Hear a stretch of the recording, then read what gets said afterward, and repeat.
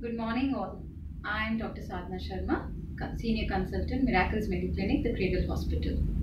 Today, I am going to give you few tips on hypothyroidism in pregnancy.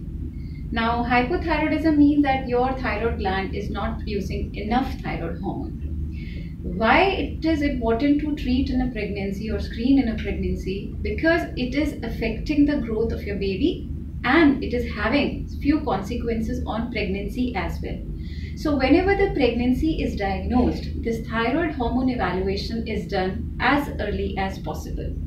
And since the non-pregnant levels and the pregnant levels differ, the medicine has to be started accordingly and monitored and titrated at a frequent interval because the thyroid hormone, the baby thyroid gland is not active in the initial phases of pregnancy and the baby is dependent on the mother for this particular hormone. So the level has to be maintained nicely because the neural developmental growth, the mental growth of the baby depends upon the thyroid hormone as well as the gross growth development is also dependent on it.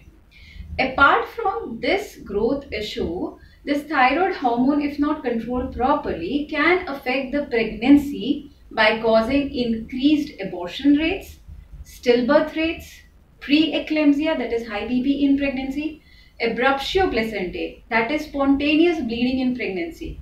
Can, and this can cause devastating consequence by losing the pregnancy. So your thyroid hormone is very, very important.